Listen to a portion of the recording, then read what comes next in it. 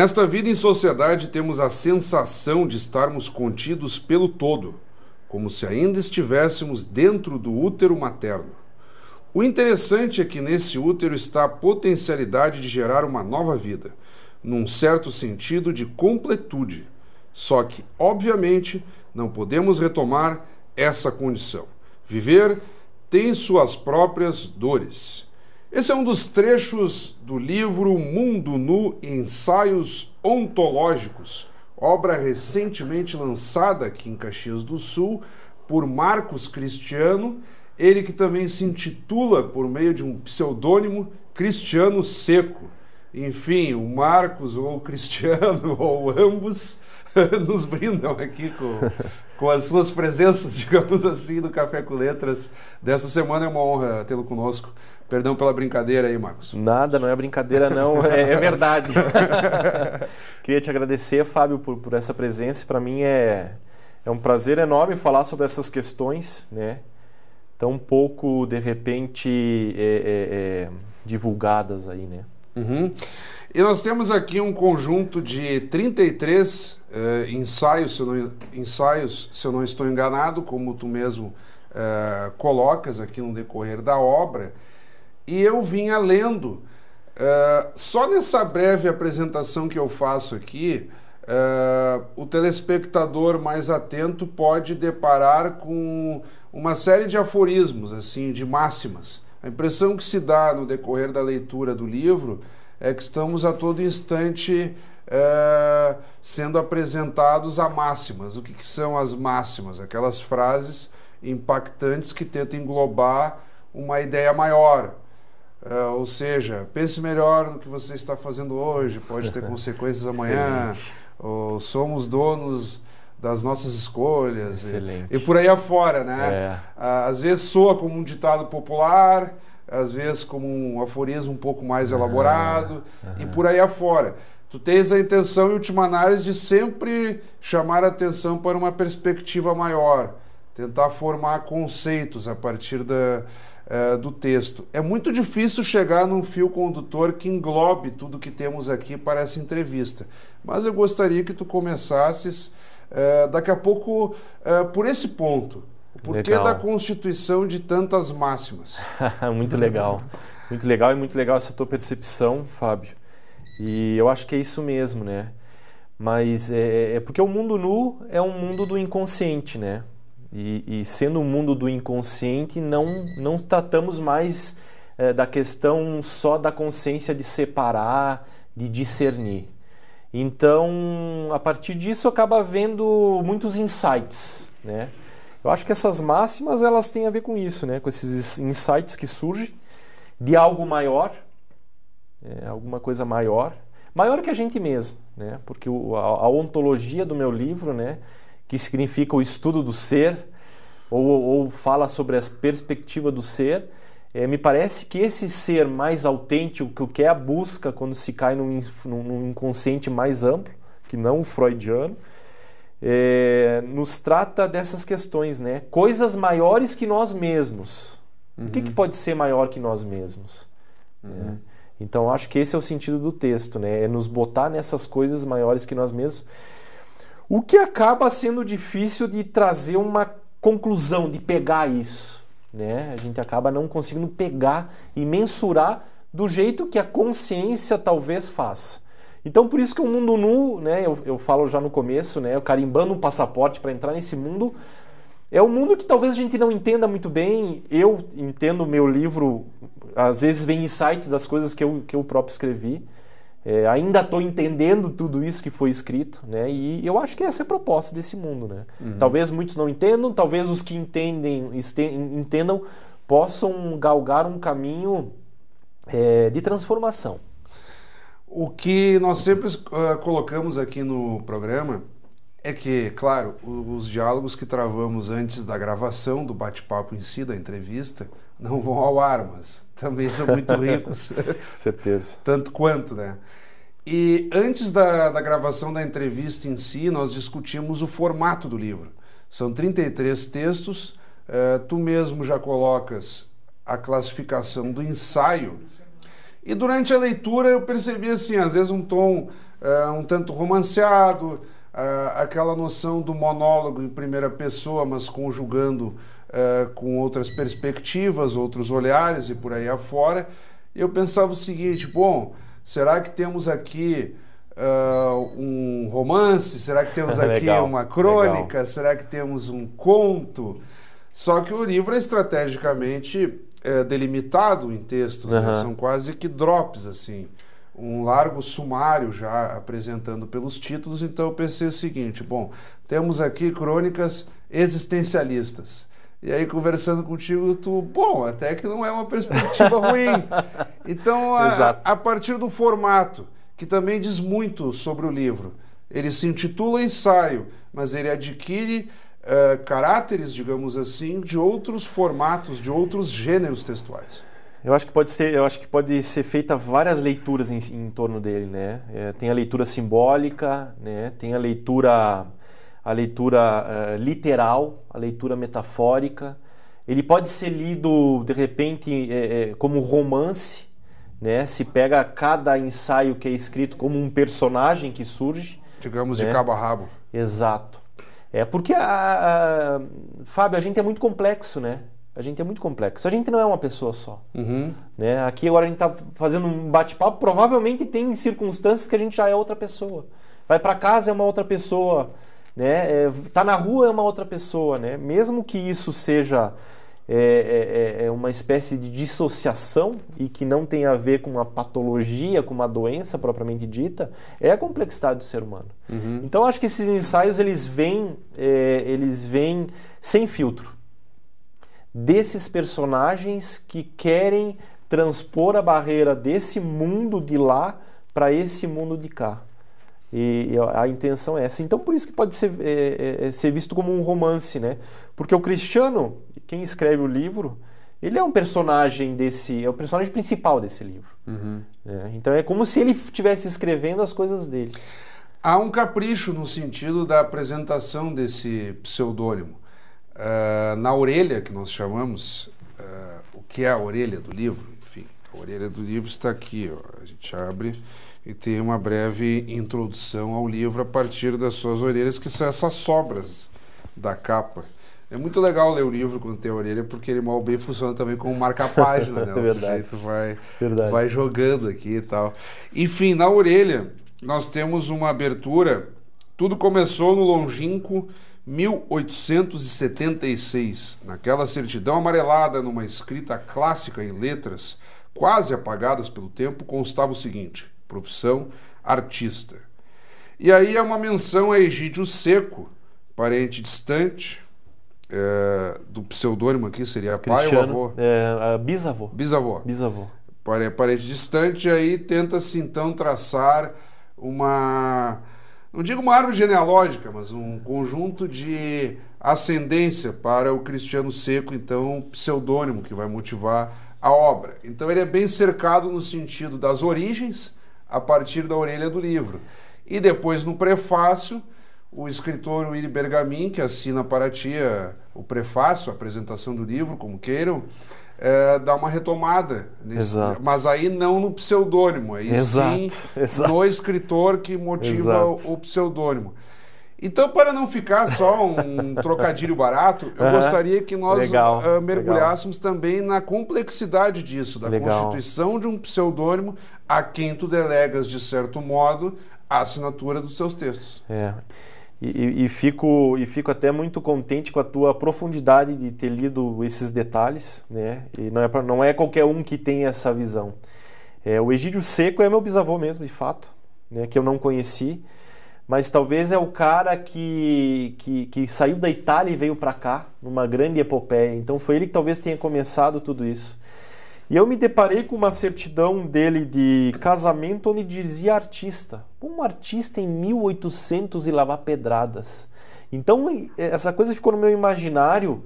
O que que um meu bisavô em 1870 e poucos, que a gente imagina que, que é uma geração de trabalho, que é uma geração, né, que, que não, não, não tem esse mundo abstrato muito claro, né? Até hoje, cabeça. né? O sujeito que se Exato. intitula artista, as pessoas olham é. assim, é, mas é. isso é profissão. E como a gente, Fábio, é um ser que, que, que vai além de nós mesmos, né? E agora eu, eu me permito a divagar um pouquinho. Quer dizer, exceto quando ganha dinheiro. É. Né? Aí o artista, quando ganha dinheiro, as pessoas ah, não, mas excelente artista. É, exatamente, exatamente. Mas como a gente é um ser que vai além de nós mesmos, é provavelmente essas influências dele passaram ao longo dessas gerações. Né? E provavelmente eu ter descoberto isso ao acaso é significativo. Uhum. Então não poderia deixar de ser e de retomar essa homenagem a ele né? Depois ele morreu e na, na certidão de óbito dele está agricultor. Ou seja, parece que ele teve que transformar né, essa arte numa arte, uma arte mais concreta, né, na arte da terra. E, mas isso aí permeou a vida da nossa família, da família da minha mãe, muito, muito, uhum. é, é, muito de uma forma significativa, sabe? E eu acho que eu retomo agora. Não sei o porquê, não sei como, não tem explicação, é, mas eu retomo isso aí. O prefácio do Willy é, é, é para trazer um pouquinho de confusão mesmo, de propósito, né? Porque ele mistura Marcos daí com um dentista, é, é, é e, e, porque a minha obra é de autoatrapalho. A minha obra é de autoatrapalho. Uhum. Né? Porque eu acho que quando a gente está muito certo e muito preciso é, com as coisas, a gente está morto. Mas o, o, foco do William ali é mais apresentar o o autor o mesmo. autor, é. E, e, aí ele retoma, né? Porque o autor também é o Marcos, né? Uhum. De alguma forma, né? A gente está todo mundo unido nessa, né? nesse barco, né? Mas o Cristiano ele retoma um aspecto maternal. Né? Eu não tenho dúvida disso. Né? Ele retoma um aspecto dessa, dessa criação feminina, né? Que nos que nos é, que nos possui. É, o Marcos me parece que foi até um ponto, né? Ele é o dentista que estudou, trabalhou, cumpre a sua rotina. E o cristiano é o cara que está saindo da rotina, que quer fazer outras coisas, né? Que quer uh, se realizar, que quer trazer a sua bem-aventurança. Né? Como é que é a perspectiva de quem está criando, desenvolvendo uma obra à luz de um pseudônimo? Nós temos aí na, na poesia largos exemplos, Fernando Pessoa, uh, pegamos escritores uh, da própria literatura mais clássica, né? vamos lembrar lá da obra Maria de Dirceu, uh, não é de hoje, Tomás Antônio Gonzaga, se não estou enganado, Maria de Dirceu, uh, delega a uma figura um pseudônimo, isso tem uma estratégia literária, mas que para quem está criando é muito profundo. Yeah. Né? No caso do Fernando Pessoa, aqueles heterônimos, yeah. dos quais ele se valia, eles têm personalidade própria, é. profissões. É. Aquilo era uma forma até do próprio Fernando Pessoa tentar organizar a sua personalidade muito dúvidas. difusa, né? É. Então as obras adquirem uma profundidade tal conforme uh, o heterônimo que ele está usando é. e até muitas vezes ele assina como ele mesmo. Não, Exato. aqui sou eu. Aqui não Exato. tenho influência de nenhuma outra uh, personalidade. No teu caso, que delega a um, a um pseudônimo, como que se dá o processo criativo? Tu te sentes mais à vontade daqui a pouco delegando a figura de um pseudônimo, determinadas interpretações do é, dia a dia? É, é, é eu, eu me cabo aqui uma pergunta, Fábio, bem, bem, bem explícita, né? para mim e que serve para todos. Qual é a nossa real personalidade? o que realmente somos. Eu acho que a pergunta toda que norteia isso está aí. E eu acho que o Fernando Pessoa, não sei, deve ter se dado conta e, e, e que ele não era uma personalidade só. É, né? Exatamente. E se ele não era e é um ser humano, nós também não somos. Né? Isso está bem fundamentado né, eh, na psicologia né, com relação a isso. Né? Quem será de nós que escreve, quem será de nós que está aqui agora? Né? Quem será de nós que vai para casa? Então, o, o, o, pseudônimo ele surge como alguém uh, antissistema. Uhum. É, eu ia na minha, nas missas dominicais, que meu, meu pai me levava na minha infância, e eu não aceitava aquilo. Depois eu fui estudar no meio científico e não aceitava aquilo. Depois eu fui praticar minha profissão e não aceitava somente aquilo. Então, é, é, essa não aceitação é uma busca por uma personalidade. Uhum. Né? É, ou, ou, ou, podemos fazer diferente: são várias personalidades que surgem, né? unificadas num ser só. Então, eu acho que quem sai da agenda, que é o cristiano seco, é, quem sai da rotina, né, a, a nossa, a nossa alma está na nossa agenda, no nosso dia a dia.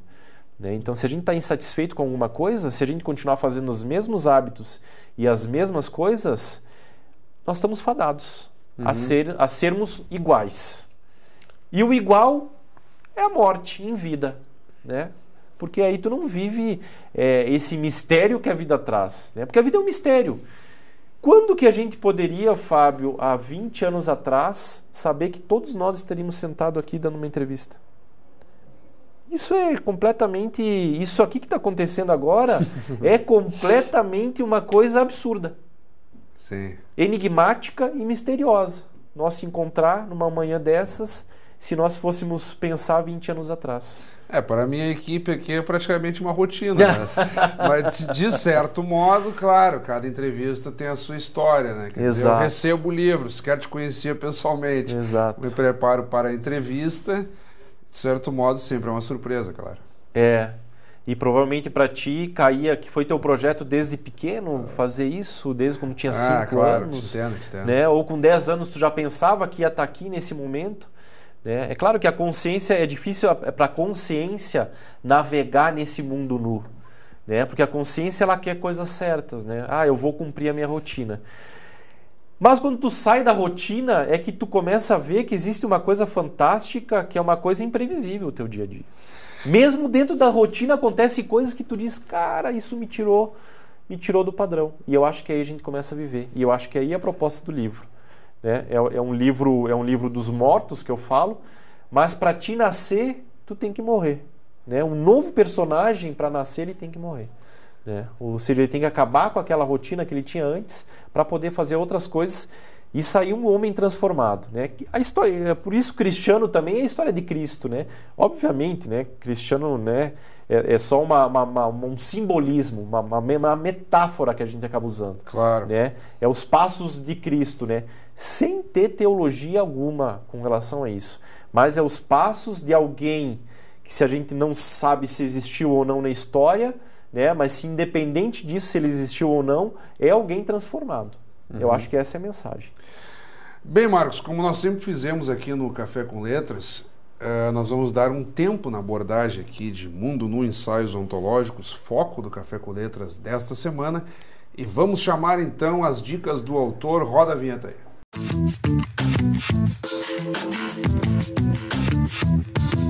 Estou aqui nas dicas do autor recebendo Marcos Cristiano, eu vou pedir que de forma breve tu compartilhes com quem está nos acompanhando agora dicas de leitura. Podem ser clássicos, autores desconhecidos por aí afora.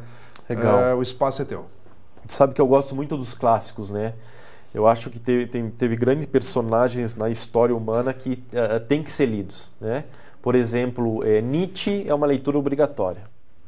É, se a gente quer se transformar, quer entrar é, num outro mundo, tem que ler Nietzsche. Né? Além do bem do mal, assim falou Zaratrusta e essas coisas. Né? Campbell é uma leitura obrigatória, porque ele fala da mitologia é, e a mitologia é, é o que a gente é.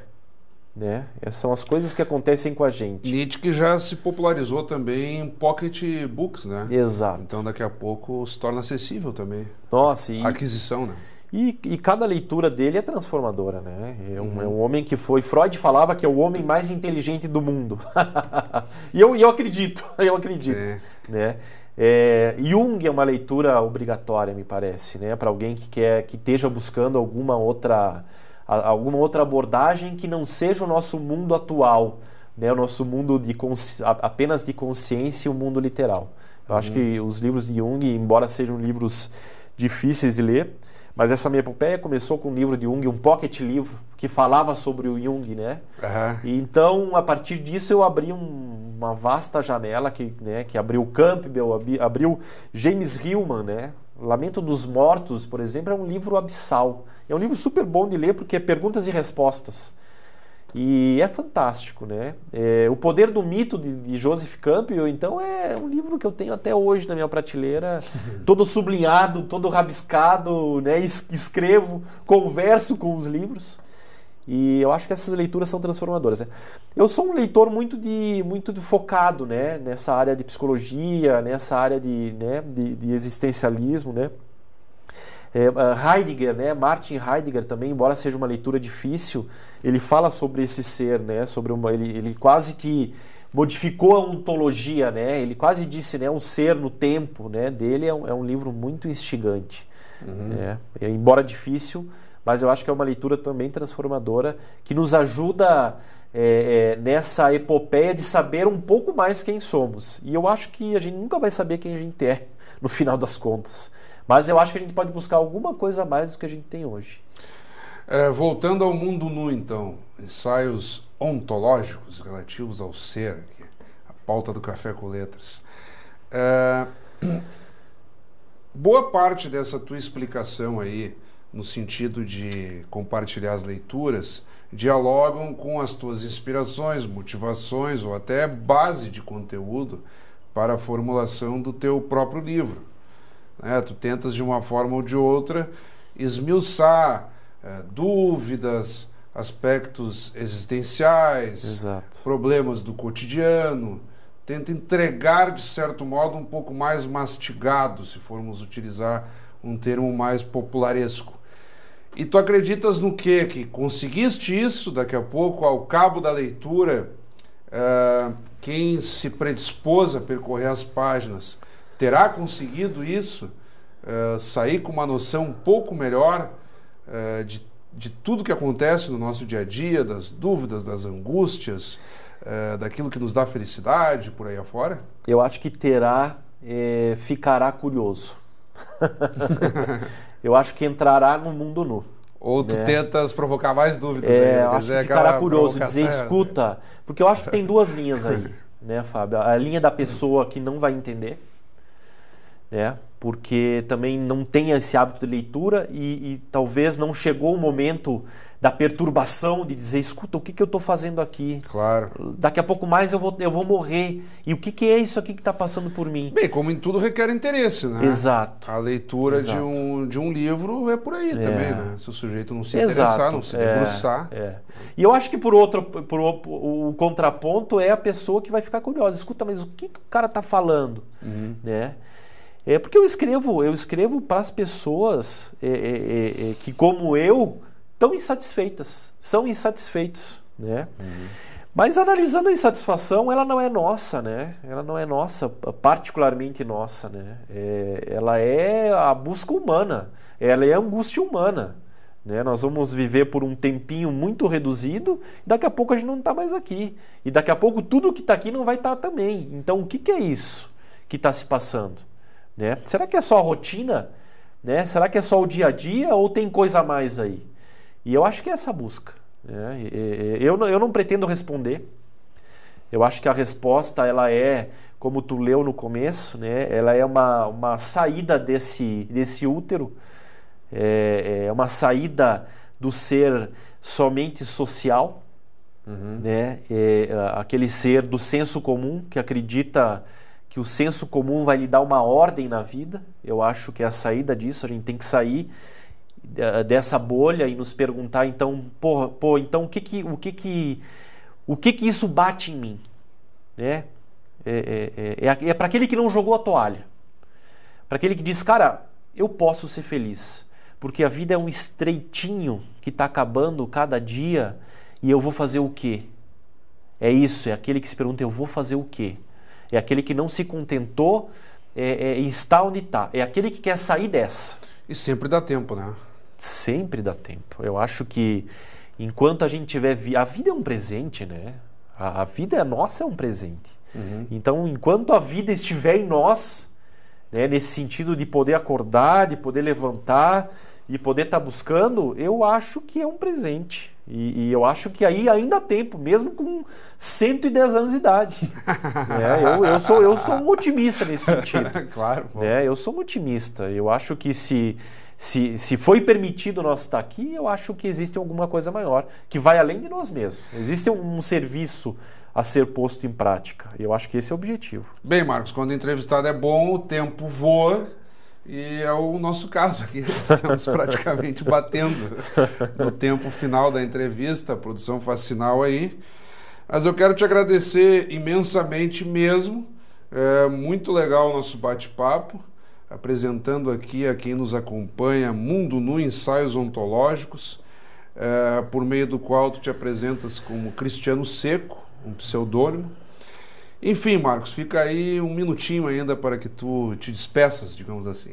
É, eu agradeço muito, Fábio, a tua, a tua, a tua delicadeza e, o teu, e a tua sensibilidade por trazer um tema desses é, nesse nosso mundo contemporâneo, é, que a gente vive de um capitalismo né, cruel e competitivo. Uhum. E eu acho que o Mundo Nu vem para fazer uma contraparte do sistema. Ele é um livro antissistema, né? Ele faz sátira ao sucesso, é, ele faz sátira é, é, é, é, sobre as coisas que se passam de dinheiro, sobre as coisas que se passam, né? Ele é sair do mundo do mundo atual, porque eu acho que o mundo atual ele ele ele está findando, né? Esse modelo está findando para uma sociedade é, que sai do, do, patriarcalismo e vai para um, um, um lado mais, matriar, mais matriarcal, uhum. né?